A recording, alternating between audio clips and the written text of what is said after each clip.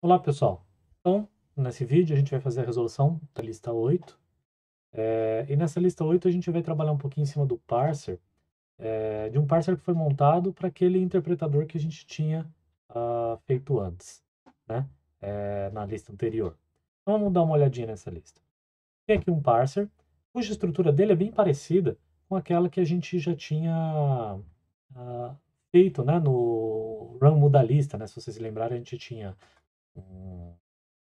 na outra lista, uh, um cara que era o ramo da lista, que era bem parecido, né? Era uma, um tipo de dados que guardava uma, uma função ali dentro.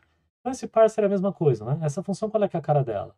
Ela chama run parser, é, e dado uma string, ela devolve um maybe string de A, né? O que, que significa esse retorno? Caso o parser tenha conseguido executar em cima dessa string de entrada, ele devolve a string que sobrou depois de pegar aquele elemento que foi pedido e o valor que foi parseado efetivamente, né? do tipo A, e faz parte aqui do parser. Então, uh, ele já dá aqui logo no início o, um exemplo de um parser básico. Né? Esse parser básico, o que, que ele faz? É um char p. Então, é um char parser, p de parser. Então, ele vai procurar por um caractere dentro de uma string de entrada. Se ele encontrar, ele devolve aquele caractere e o resto da string depois de tirar aquele caractere. Então, qual que é a cara dele? É um parser de P, né? Então, esse P é uma função. O que, que é essa função? Essa função recebe uma lista, né? A gente consegue ver com uma lista por conta do pattern match aqui, xs. xs. Se x for igual a c, ou seja, igual ao caractere que foi passado como parâmetro para esse parser, então ele devolve como resposta just, né? Porque era um maybe, xs, que é o que sobrou da string, e o x, que foi o caractere que foi uh, encaixado aqui né, no, estrutura desse parser. Se não, se o x não encaixar, é, qualquer outra coisa devolve um nothing, ou seja, eu não consegui rodar aquele parser. Tudo bem. Então, uh, essa, essa lista ela vai envolver uh, operações em torno desse parser. A gente vai ver que ele vai fazer cada vez coisas um pouco mais elaboradas em torno dele. Vamos ver o primeiro exercício. O primeiro exercício fala o seguinte. Uh, implemente a instância de functor para parser. Exemplos. Vou dar um exemplos aqui. Run parser de dígito de P 102. Então ele vai voltar a 0, 2 e 1. É... E mais aqui. To bool de x, if x igual a 0, nem false, senão uh, true. Outro parser. To uh, de fmap, né? De dígito de P. É, então ele está aplicando essa função to ao resultado do dígito de P. É, então, na hora que você fizer isso, run parser, outro parser, que é esse cara aqui, a gente fez um fmap dentro dele, 102, a gente vai ter como resposta true e false. Né? Então, basicamente, ele está olhando. O número começa com true ou false. Então, esse parser ele faz esse trabalho aqui. Qual que é a parte legal do, do, do, functor aqui? É que a aplicação de uma função a um cara, que é um functor, no caso do nosso parser, nos devolve um novo parser que a gente pode usar, que a gente precisar. Então, esse cara aqui, a gente tem um parser que verifica se é um ou não. Né? E a gente tinha um cara que verificava se era só um dígito. Então, muito bem. Vamos implementar essa instância aqui de functor para o parser. Bom, como sempre, né, para fazer isso, a gente começa com a palavra reservada aqui, instance, uh, um instance de functor para um parser, where. E a função que a gente precisa uh, implementar é fmap. fmap recebe dois parâmetros, a função que eu quero aplicar ao conteúdo do, do, do parser ali, né, é, e o próprio parser que eu vou estar trabalhando. Então, parser aqui, eu vou chamar aqui de RP, né, de run parser, né, que é essa, esse cara que está aqui em cima. Como é que esse cara vai funcionar? Bom, primeira coisa, quando a gente está trabalhando com functor, o resultado da função fmap é do mesmo é o mesmo functor, né? Então vou devolver um parser também. Então, se olhar o tipo do fmap aqui, é, ele vai me devolver é, um parser. Então, é um parser que eu vou devolver. A primeira parte está aqui. Então, é um parser. O que, tem dentro de um parser? Tem uma função que, dado uma string, devolve um maybe. Então, vou colocar aqui dentro uma função que, dado uma string, vou chamar de S0 aqui, que é a, a string que eu estou querendo fazer o parsing, é, vai devolver um maybe. E agora, o que, que eu preciso fazer com essa string? Bom, a primeira coisa que eu preciso fazer com essa string é rodar o que já tinha lá dentro, né? O, o parser que já tinha lá dentro. Como é que eu faço isso? Bom, é, eu tenho o run parser, que é uma função, né? dado uma string devolve um maybe. Vou fazer um run parser de S0. Isso aqui vai me devolver um maybe string de A. Agora, o que, que eu preciso fazer? Eu preciso uh, aplicar uma função f ao eventual A que tiver ali dentro. Se for nothing, não vai fazer nada. Agora, se for é, se for um, um, maybe, um just, né, é, ele vai aplicar. Então, eu poderia pensar em fazer algo assim, né? fmap de f em cima disso aqui. Isso aqui ainda não funciona. Por que, que isso aqui não funciona? Vamos pensar. Esse cara aqui devolve uh, um maybe de string de A. Se eu fizer um f map de f, o que eu estou fazendo é fmap de f em cima de um par, que é o que está dentro do, do maybe, é um par. Mas eu não estou querendo aplicar o f ao par, eu estou querendo aplicar f ao segundo elemento do par. Felizmente, o fmap para uh, tuplas, né, para pares, uh, ele já é implementado e ele aplica a função ao segundo elemento. Então, basicamente, o que a gente quer fazer é fmap do fmap de f em RP S0. O que isso está fazendo? Vamos, vamos ver o que isso está fazendo. Isso aqui nos devolve um maybe de um par. Então vamos dizer que esse cara aqui é, por exemplo, um just de banana B, por exemplo. Vamos dizer que nosso parser estava procurando por um caractere B. Ele vai devolver isso aqui, né? Um just de um par desse. Na hora que eu faço o primeiro fmap é... f por que, que isso aqui não funciona? Porque eu vou tentar aplicar f em cima do just, e não é isso que eu quero. Eu quero aplicar f em cima do b. Então, faço de novo um fmap disso tudo aqui. Então, o que, que ele vai fazer agora? Este primeiro fmap vai aplicar essa segunda função inteira em cima desse just. E aí ele vai, esse fmap de dentro vai aplicar esse f em cima desse b. E aí faz o que a gente quer. Né? Então, está aqui a nossa instância de parser, pro, a instância de functor para o nosso parser. Tá? Bom, a partir de agora, o applicative e o monad eles seguem uma linha muito parecida. É... Por que, que ele segue uma linha muito parecida? Porque, de novo, né? enquanto o, o functor permite que você pegue uma função e aplique dela dentro de um contexto, uma função pura e aplique dela dentro de um contexto, o applicative permite que a gente pegue uma função que está num contexto e aplique essa função dentro de um valor que está dentro do contexto. Então é só um passo adicional ao que a gente já tinha feito. Então, o próximo exercício, exercício 2, ele fala para a gente, né? Implemente a instância de applicative para parser. Então, ela começa da mesma maneira, né? Instance, applicative, parser, where. O applicative tem duas funções que a gente precisa implementar, a pure né, e a apply, e é escrita desse jeito. A pure pega o valor puro e coloca dentro de um contexto. Então, se eu receber um valor x, o, qual que é o contexto que eu estou trabalhando aqui? Um parser. Então, ela vai devolver um parser. O que, que tem dentro de um parser? É uma função que recebe uma string, eu chamo aqui string s0. É, e devolve esse valor dentro daquele contexto. Bom, o contexto aqui que a gente está trabalhando, é, dentro do, dessa função, dado uma string, devolve um maybe string de A. Então, eu vou devolver um just. Uh, qual que é a string? É S0. Qual que é o A, que é o valor que a gente está querendo colocar dentro do contexto? É o X. Então tá feito. Né? O Pure ele é bem, bem fácil de se fazer. Já o apply. Bom, o apply ele vai receber dois parsers, né? O primeiro parser, é, vou chamar aqui de R0, né? E o segundo parser aqui de R1. Qual que é a ideia? A ideia é que R0 seja uma função, R1 seja um valor, e eu quero aplicar R0 a R1. O resultado de um apply, do applicative, também é um parser. Então, eu preciso devolver aqui é, um parser que recebe uma função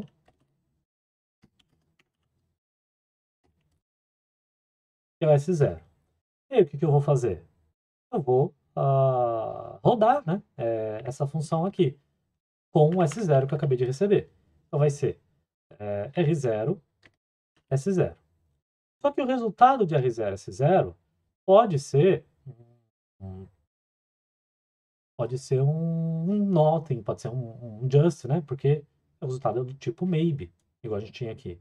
Então o que eu vou fazer é verificar os casos. Caso R0, S0 seja de nothing, ou seja, não, não há nada a, a fazer, porque ou R0 ou R1 era nothing, né? Então, o resultado que eu vou devolver aqui é nothing. Está resolvido. Se por outro lado uh, não for nothing, se for um just, vai ser just um par, né? Que vai ser uh, o S1, que é a string que sobrou daquele contexto depois de fazer o parser, e um valor uh, que eu vou chamar aqui de A. Né? E aí eu tenho que trabalhar em cima disso aqui. É, como que eu vou trabalhar em cima disso aqui? A partir desse momento, o applicative passa a ser igual ao nosso functor. E lembrem-se, no applicative, o primeiro parâmetro contém uma função e um contexto. O segundo contém um valor que eu quero aplicar àquela função. Então virou igual ao que a gente já tinha antes, que era o, o applicative, o functor, né? Então eu vou ter um fmap de um fmap da função, que função? Né? A função a. Por que, que a é uma função? Vou até trocar esse a para chamar de f. Porque esse a é o resultado da aplicação desse R0. Lembrando, o primeiro parâmetro é uma função que está no contexto. Então, o valor que está ali dentro é uma função. Então, eu quero aplicar a função f, que veio da aplicação do primeiro aplicativo aqui, dentro do quê? Dentro do contexto que eu estou trabalhando agora, que é o S1, fmap de, é, fmap de f, de S1, é, só que aí eu preciso uh, rodar esse cara, né? Como é que eu vou rodar esse cara? Usando o R1 ali, né? Então, o contexto que essa função vai ser rodada é o S1, que é o resultado da primeira execução. A, a função que eu quero aplicar é F, então R1, S1. Né? Então, se você reparar, essa implementação aqui, ela é muito parecida com o que a gente tinha antes, né? do, nosso, do nosso functor. Fmap de fmap de F, R1, S1. Né? É, a mesma, é a mesma ideia. E não é à toa, uh, porque se você pensar no functor e no applicative, eles são muito parecidos. A diferença é que no functor está aplicando uma função pura no contexto, no applicative está aplicando uma função que está no contexto, a um valor que está no contexto. É, e aqui, essa parte inicial foi simplesmente para pegar a função que estava dentro do contexto, que é f, para poder aplicá-la dentro do cara que está naquele contexto. É, e não é à toa que o applicative, o nome completo do applicative é applicative functor. Né? É, ele também é um, é um functor. Para ser um applicative, ele tem que ser um functor. Então está aqui, né, implementado é, a instância de applicative para é, a instância de applicative para o nosso parser. Bom, e o nosso próximo exercício é basicamente, então, agora fazer a implementação de uma instância de monad para esse cara. Vamos dar uma olhadinha como fica. Então, para fazer uma instância de monad, segue a mesma ideia aqui, né? É, instance monad para o parser, onde, e aí a função que a monad tem que ter é, dentro dela é a função bind, né? Escrita desse jeito. Então, basicamente, eu vou ter é, um valor que está dentro do contexto, então eu tenho aqui um parser é, RP, e eu tenho uma função, vou chamar de f, eu quero aplicar dentro do valor que está dentro do parser. Então, uh, notem que é tudo muito parecido, né? Functor, é uma função pura, quero aplicar no valor no contexto. Applicative, eu tenho uma função no contexto, tenho um valor no contexto, quero aplicar essa função nesse valor. Monad, eu tenho um valor no contexto e uma função que, dado um valor puro, devolve um valor no contexto. E eu quero aplicar. Então, são todos bem uh, próximos. Né? E a implementação também não é muito diferente. Como é que a gente vai fazer? Começa igual a todos os outros. Parser. Tem que ter aqui dentro uma função, né? Então, S0. É... E a primeira coisa que eu vou fazer é rodar esse cara em cima dessa string que eu tenho. Então, case rp de S0 off. Mesmo, mesma história dos demais, né? Se for um nothing, então eu devolvo nothing. Não há nada o que se fazer aqui. É, por outro lado, uh, se for um just, uma string aqui, uh, que é o contexto do, do que a gente está trabalhando, em um valor 1, aí uh, eu posso fazer um run parser de f é, de v1 em cima de s1. O que está acontecendo aqui? Vamos lá. É, é, Peguei o meu parser e rodei em cima desse valor. O resultado pode ser nothing, aí não tem o que fazer, ou um par, o, o a string que sobrou, né, e, um, um, e, um, e um valor que foi uh, obtido ali, né? Ok. Então, agora o que eu vou fazer é run parser de f em v1. Então, eu peguei essa função que eu tinha aqui, passada como parâmetro, né, que é que eu quero aplicar o valor puro, né, é, que é v1, que é o valor puro. Isso aqui, o resultado é um parser. Por quê? Porque o tipo de f é um A para parser de B. Né? Então, isso aqui vai ser um parser de B.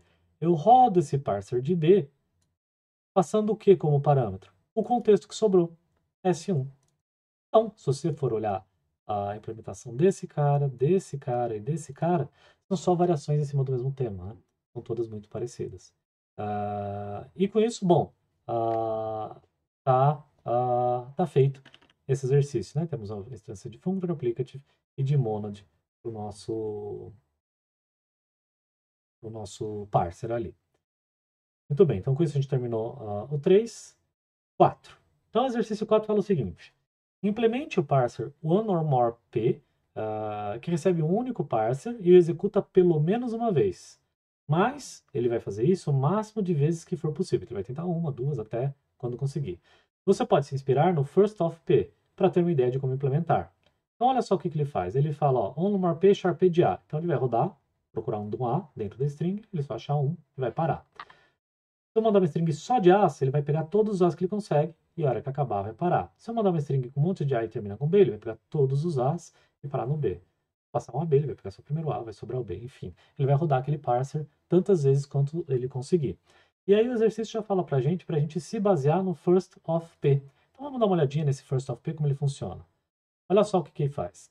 O first of P recebe uma lista de parsers e devolve um único parser. E como que ele faz isso? Ele chega e fala, olha, eu vou devolver um novo parser, onde esse novo parser ele tem uma função dentro, né? Sempre uma função. Essa função que eu vou colocar lá dentro é try first parsers. Essa função try first ela é da seguinte maneira. Ela recebe uma, uma lista aqui, né? É, de parsers, que eu quero verificar se funciona ou não, e string que eu preciso avaliar. E aí ele roda o parser em cima daquela string. O primeiro, né? O P, né? O primeiro parser daquela lista em cima daquela string. É... Se o resultado for nothing, então ele vem e faz um try first com o resto dos parsers na string completa. Ou seja, eu tentei o primeiro, não deu? Vou tentar o segundo, vou tentar o terceiro, faço isso recursivamente até chegar no final da lista dos parsers e não conseguir nada eventualmente. Uh, se não, se ele recebeu just something, né? ou seja, não é um nothing, qualquer coisa que é um just, ele devolve aquele just, porque eu só estou interessado no primeiro que dá certo. Não estou interessado em pegar em mais de um. Se por outro lado, esse try first for chamado com uma lista de parsers que não tem pelo menos um elemento, que é o caso uh, se a lista estiver vazia, né? Ou se não tiver mais nada a ser processado aqui, ele devolve um nothing, acabou, não tem nada mais o que se fazer. Né? Então a gente quer fazer um cara que vai nessa mesma, nessa mesma linha do first off. Só que no nosso caso é o one or more. Eu quero um cara que recebe um único parser e tenta rodar a uma única vez, mas repetidamente quantas vezes for possível. Então vamos ver como é que a gente pode fazer isso. Primeira coisa, vamos fazer uma coisa. É, vamos devolver um parser e vamos fazer aqui ele de um jeito parecido como foi feito primeiro. vou falar, olha, go, né? Vou criar uma função go, que é a função que vai ser recursiva. E eu vou chamar, definir ela, melhor dizendo, aqui, né? Como é que vai funcionar essa função go minha? Ela vai receber a string, que eu estou querendo fazer o parsing, é, e aí eu já vou rodar o parser em cima dela. Então, is o parser uh, is run parser, né? O parser que eu recebi como parâmetro. Em cima de xs por uh, nothing, e acabou, né? Não tem mais o que fazer. Porque eu só estou tentando rodar enquanto for possível. Se já não foi possível, já para por aqui. Se não, ele pode ser um just, e aí vai ter o resto da string que ele ainda não parseou, é, e o que ele já parseou, que eu vou chamar de P. Né? É, e aí, nesse caso, eu preciso fazer uma chamada recursiva para esse cara aqui. É, como que eu vou fazer uma chamada recursiva para esse cara aqui? Bom, é, eu posso simplesmente fazer o seguinte, olha, é, case go, né, que é a mesma função que a, gente, tá, a própria definição que a gente está fazendo recursivamente, em cima de rest, uh, é o resto da string, for é, nothing, então eu vou devolver é, alguma coisinha aqui, né? O que, que eu vou devolver? Vou devolver é, um just é, rest de p, né? Que é o que eu já tinha conseguido. É, só que isso aqui é uma lista, né? Uma lista com contendo p, né? Que são as coisas que eu consegui parciar. É só o p, basicamente. Não, é, se eu receber algum just, se for qualquer outra coisa aqui, é, just, vamos chamar aqui de rest2, é, p2, né? Então, eu vou devolver é, esse, esse cara aqui, né? rest p2, p2. Como esse lado é igual a esse lado aqui, eu posso dizer aqui que isso aqui é só o just algo. Opa, cadê? é, só o just algo e devolver o just algo aqui. Só que eu preciso fazer algo a mais, né? Então deixa eu voltar. Porque eu preciso colocar o P, na verdade, eu não posso fazer isso aqui, né? Eu tenho que colocar o P uh, aqui nesse P2. Então é o P concatenado com o P2. Tá? Bom, com isso a gente já tem uma solução uh, que funciona, mas a gente consegue melhorar um pouquinho esse cara. É, como a gente consegue melhorar um pouquinho esse cara? Nota o seguinte, esse cara aqui é, devolve o resto, o resto e sempre o P no início. Então, como esses dois caras estão devolvendo um just de um par, é, eu poderia eventualmente fazer a aplicação de uma função aqui dentro para colocar o P nesse cara. Né? Então, vou tirar o P daqui e fazer o seguinte. O resultado desse cara aqui é um just. É, então, eu posso tirar esse just daqui devolver um par, colocar o just aqui do lado de fora. E o que, que vai ter dentro desse just? Um fmap de concatena p, com seja lá o que for que tem ali dentro. Né? Então agora eu consegui limpar um pouquinho esse caso. Mas eu posso fazer mais um passo para tentar limpar isso. É, é o seguinte, Existe uma série de funções no data maybe, então tem que fazer o import, né? Então deixa eu fazer o import aqui em cima, que ajudam a gente a trabalhar com maybes sem ter que ficar é, fazendo cases igual a gente está fazendo desse jeito aqui. Uma das funções que tem lá dentro é uma que se chama from maybe. A função from maybe, ela recebe uh, ela recebe um parâmetro, que é um valor padrão, caso seja um nothing, um maybe de A, e ela devolve ou o valor padrão, se for um nothing, ou o valor que está dentro do maybe. Né? Então, uh, o que eu posso fazer é o seguinte, olha, é, eu vou fazer from maybe de valor padrão vai ser rest de vazio, né? e se for um nothing, é, o, ou o valor aqui do goRest, né? Se for um just. Então, goRest. Esse cara aqui vai devolver para gente a mesma coisa que esse case. Olha só o que ele está fazendo. GoRest, aqui. Se for nothing, devolve isso. GoRest, se for nothing, from maybe, devolve isso. Se não, ela devolve o que está dentro. Devolve o que está dentro, é o que esse cara está fazendo, basicamente. Então, essa expressão aqui é equivalente a esse case. E agora a gente pode aplicar essa mesma ideia que a gente tinha feito antes aqui, né? É, desse jeito, né? A gente pode colocar esse just aqui, simplesmente tirar isso tudo para fora. Né? Então, é uma versão melhorada, mais reduzida é, do que a gente estava fazendo. É, o que ele, vamos ver o que ele está sugerindo aqui. Ah, ele está usando usar a versão fixa da FMAP, né? Para ficar mais, uh, mais compacto ainda, né? Então, posso tirar este FMAP daqui e simplesmente colocar o fmap em fixo aqui. Né? Então ainda fica mais, uh, mais bonitinho ainda o código, né? Bem, bem pequeno. Tá legal? Bom, com isso a gente tem um exercício aqui, one no more p. É... Vamos para o próximo. Implemente o parser optional p, que recebe um único parser e executa exatamente uma vez. Se for bem sucedido, é, retorna o resultado e consome string. Caso contrário, retorna string original, como se não tivesse nada acontecido. Então, nesse caso aqui do, do optional, se a gente olhar o, os exemplos, é, ele devolve nothing ali, just o que ele estava procurando, né? Então, uh, um pouco diferente do que a gente estava fazendo aqui, é, que devolve o valor puro, né? Então, uh, é bem parecido, mas um pouquinho diferente. Vamos fazer a implementação desse cara aqui. É... Como sempre, a gente começa devolvendo um parser, né? Esse parser, ele devolve, ele tem dentro, né, uma, uma, uma função, vai ser essa lambda aqui.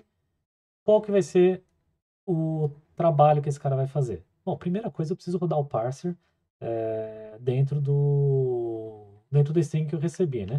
Então, ao invés de chamar o run parser, eu vou fazer o aqui, só para ficar um pouquinho diferente, fazer uma versão aqui com pattern match, né? Então, dentro aqui tem a função run parser, então vou fazer o run parser em cima da função S0 que a gente tinha. O resultado que a gente vai ter aqui é um maybe string em A. Tudo bem. Esse cara aqui é um maybe de string de A.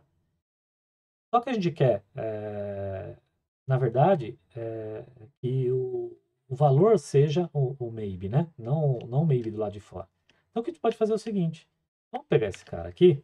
A gente pode fazer toda aquela história de case, igual a gente fez aqui, fez antes e tal, igual o first of faz. Mas, ao invés de fazer isso, vamos usar uma outra função. É uma função chamada maybe, também está lá no data maybe. E a função maybe ela tem a seguinte característica. A função maybe recebe um valor padrão, b, caso seja nothing. Uma função que eu quero aplicar dentro do valor do just, que vai de a em b. Um maybe que contém um a e ela devolve um b. Então, qual que é a, o funcionamento dessa função? Eu passo para ela um valor padrão e uma função, e passo um maybe. Se o maybe for um nothing, ele devolve b. Se for um just, ele pega o valor que está dentro do just, aplica a função e devolve uh, o resultado da aplicação dessa função. Eu vou usar essa função aqui. Olha só o que eu vou fazer. Vou fazer maybe, qual que é o valor padrão caso uh, o, o, o, parser não tenha conseguido rodar, né? ou seja, o nothing. O valor padrão vai ser S0, ou seja, a própria string que eu ia parsear e não consegui, e nothing. Né? Isso está uh, em linha com os exemplos que a gente tem aqui. Ó. Tenta parciar isso aqui, uh, um espaço dentro de hello que não tem espaço. Vai devolver a própria string hello e 9. Então, isso está dentro do que a gente estava esperando. Falta um just do lado de fora, que a gente vai pôr daqui a pouquinho.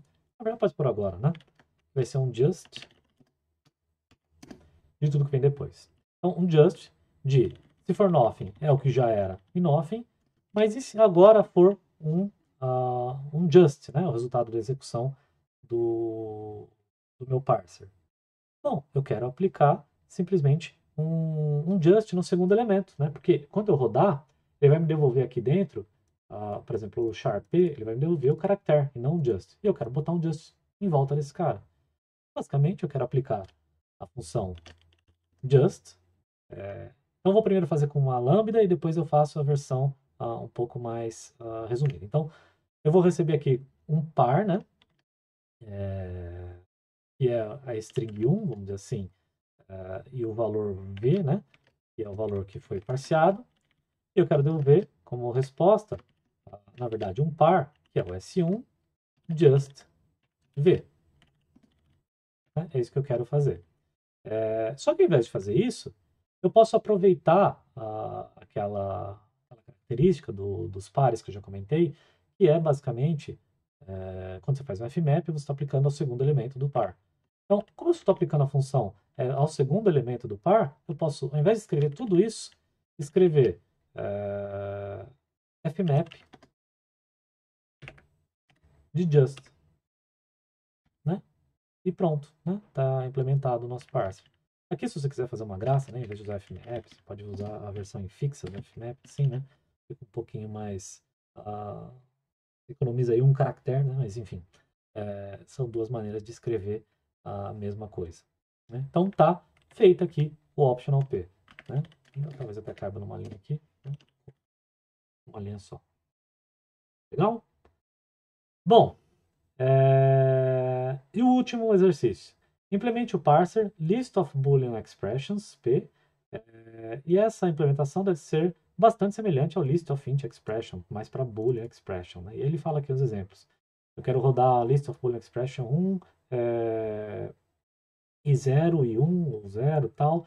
Isso vai devolver o vazio, né? porque ele processou a string toda, e volta uma lista de bool literal true, and bool literal false, or boolean. O que, são esses boolean, esses false, esses true? O que, que é esse monte de coisa aqui? É, se a gente lembrar da lista anterior, a gente tinha aquele outro arquivo aqui, que é o uh, eval.hs, que a gente trabalhou, é, e ele tem ali um, um, avaliador de expressões, né? Ele tinha as expressões numéricas, né, de, de inteiros, uh, ele sabia avaliar, a gente também tinha expressões booleanas, né, que podiam ser compostas de AND, de OR, ou de booleanos literal, literal assim, né, true ou false. Ele sabia rodar essas, essas, essas expressões, tem a função evaluate, a gente fez isso na, na lista passada. E o que ele está falando agora que ele quer? Bom, eu quero que você faça a implementação do list of boolean expressions, que aqui está como defined, e você pode fazer isso muito parecido com a list of int expressions. Então, usando essa dica denunciada, eu vou simplesmente escrever a mesma coisa aqui que já tinha antes one or more parsers de, em vez de ser int expression, igual está aqui, vai ser bool xp. A gente vê, bom, esse cara aqui não existe. Vamos ver como é que esse cara é definido para inteiros? É, o primeiro que couber de um literal de inteiro, de soma, de subtração, multiplicação. Vamos fazer a versão para o nosso booleano? Então, bool exp p vai ser o first. De novo, eu só estou copiando outro. Nem, percebam que eu nem estou avaliando como as coisas funcionam. Só estou seguindo o que o enunciado me falou. E o que, pode ser uma expressão booleana? A gente acabou de ver no eval, né? Uma expressão booleana ela pode ser é, um end, um or ou um literal booleano. Então vamos lá. Então pode ser um bool é, lit é, botar minúsculo, né? Bullet. E eu vou precisar fazer um parser para esse cara. Então, por exemplo, aqui para inteiro tem um parser, para o edge tem um parser, para o sub tem um parser. Então, fazer um parser para esse. Ou ele pode ser é, um end parser ou um more parser. Então, esses são os tipos de expressões booleanas que eu posso encontrar ali dentro, né? É, só para ficar padronizado, né? Uh, ah, tá assim, né? Boolean, end parser or parser. Então, add, add sub, multi, end or. Agora, esses caras não existem, né? Então, preciso fazer esses caras. Vamos dar uma olhadinha como é que isso foi feito para, o, uh, para os inteiros. Vamos começar para o bool lit p, né? E vamos ver como foi feito o int lit p. O int p é é, um ou mais dígitos, um ou maior parser, né, de um parser de dígitos. Né? Como que a gente vai fazer para o nosso caso aqui? No caso do booleano, as expressões são com 1 e 0, né? Então, para mim, para nós tem que ser é, um uh, elemento uh, que seja ou 0 ou 1, um, né? Então, a gente pode começar escrevendo isso aqui, ó. É o primeiro parser que couber, então, first, first of p, né? First of P, que foi o que a gente estava trabalhando até agora há pouco, né? Uh, o first of P. É... De quê? Bom, de uma lista de parsers. Quais são os parsers que interessam para gente? É um cara que reconhece o caractere 1 ou um cara que conhece, reconhece um caractere 0. Né? Então, eu quero o primeiro parser, o primeiro parser que couber, né, que reconhece o caractere 0 ou, ou, reconhece o caractere 1. A resposta que a gente vai ter disso é um parser que devolve um caractere 0 ou 1, mas eu quero um booleano, né? não quero um caractere 0 ou 1. Então eu preciso fazer, e aqui entra a instância de functor que a gente usou. Né? Eu quero fazer o seguinte, vai ser um porque eu quero devolver um literal, um um literal booleano, né? que vai ter um verdadeiro ou falso lá dentro. Mas o que eu quero aplicar lá dentro é uma função igual igual a 1. O que está acontecendo aqui? Vamos parsear uma string. Reconheci um caractere 1, por exemplo. Legal. Esse caractere 1 é igual ao caractere 1? É, verdadeiro. Então o booleano que eu estou guardando lá dentro é verdadeiro. Reconheci o caractere 0. O caractere 0 é igual ao caractere 1? Não, falso. Então estou guardando um falso lá dentro. Aí eu não reconheci nada, nothing. Bom, fmap de nothing é nothing, então isso tudo devolve nothing e ele não reconheceu nada. Né? Então temos aqui agora um parser para uma expressão booleana que é 1 ou 0. Mesma coisa agora a gente vai fazer muito parecido com o que tinha para o add, para o sub, para o multi, para o end e para o or. Como é que vai ficar isso? É... Então, vai ser o end p vai ser uh, o const end aplicado o fmap, né? Aplicado ao quê? Ao parser que reconhece o end. O end está sendo representado aqui como um circunflexo, né? Então, se aparecer um circunflexo, eu quero reconhecer isso como end e uh, devolver. Por que const end? Se isso aqui for nothing, estou fazendo fmap, vai dar nothing, acabou. For just o caractere circunflexo, para mim pouco importa se é circunflexo, se qualquer outra coisa. Eu quero transformar aquele cara lá num end. Qualquer que for o caractere vai ser um end. Então eu devolvo aqui com faço um fmap da função constante end. Qualquer que for uh, aplicado em cima devolve um end. Resolve porque a gente quer. E o OR-P? O OR-P é a mesma coisa. O OR-P vai ser um const OR fmap de char p aplicado ao ou, né? E aí a gente tem a nossa implementação. Notem o seguinte, é... ele está reclamando, aqui ele está reclamando, ele está sugerindo que a gente use uma outra versão do FMAP, é... que é o FMAP só com o lado esquerdo aqui, né? Só com desse jeito aqui, né? Por quê que ele está recomendando que a gente faça isso? Porque a gente não está usando o resultado, né? Então ele fala para tirar. Mas, bom, pode deixar assim, é só uma sugestão está é, tá resolvido. Então, se não foi, se eu não cometi nenhum erro durante essas implementações, se eu rodar agora os testes, então, se eu rodar os testes, os testes devem passar. Opa, stack test.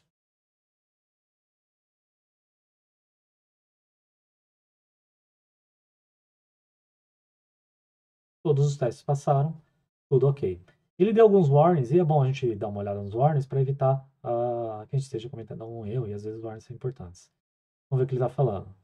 Uh, missing signatures no bullet p, missing signatures... Ah, ok. Então tá o seguinte, a gente criou essas funções todas aqui, mas não deu uma assinatura para elas, né? Então, a assinatura dessa função aqui, por exemplo, é uh, um parser, ele vai devolver um parser e devolve uma expressão booleana. Então, a bool exp. Só que todas essas aqui devolvem a mesma coisa, né? Então a gente pode fazer uma assinatura múltipla aqui, a gente pode separar por vírgulas, falar o end p, o or p, é... todas devolvem. Uh, e esse último aqui também é o bool expression também, né? Bool exp, né? também devolve uh, essa expressão, né? Então, agora, a hora que rodar, ele não deve mais dar problemas desses warnings. É sempre bom a gente evitar os warnings. Resolvido. Passaram todos os testes. Não temos nenhum warning de compilação. Uh, feito. Tá? Então, qual que é o, a parte interessante dessa lista? Se você olhar mais para baixo aqui, você vai ver que a gente começa a criar uns parsers um pouco mais elaborados, né? Começa a fazer parser de nomes, inclusive um parser de YAML. É, é bem simples. Então, Uh, como é que ele funciona? Ele procura um, um caractere alfanumérico, uh, verifica se tem dois pontos, depois uh, pega uma string alfanumérica e devolve chave valor. Então, ele, isso aqui ele está parseando uma linha de YAML. Uh, e o, várias linhas de YAML, como funciona? Basicamente, one or more P, né? Então, um ou mais partes que, que funcionam uh, de YAML line, uh, de, de coisas que são opcionais aqui, de strings barra N, né? O separado por barra N ou não, né? Da linha do YAML. Então, uh, com isso a gente consegue fazer um parser. Então é bem fácil, né? É bem simples. Uh, vocês viram aqui, a gente fez um parser rapidamente. Uh, e uma das partes mais importantes para mim nessa lista não é nem tanto o parser, mas essa visão de que functor, applicative functor e monads são maneiras de enxergar o mesmo problema. Tem uma função que está num contexto ou não, tem uma função que está no contexto ou não, desculpa, uma função que está no contexto não, um valor que está no contexto não, e eu quero fazer a aplicação dessa função a esse valor.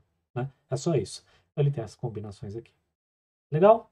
Então, uh, para a correção dessa lista é isso. Uh, qualquer dúvida, estamos lá no Discord. Até mais.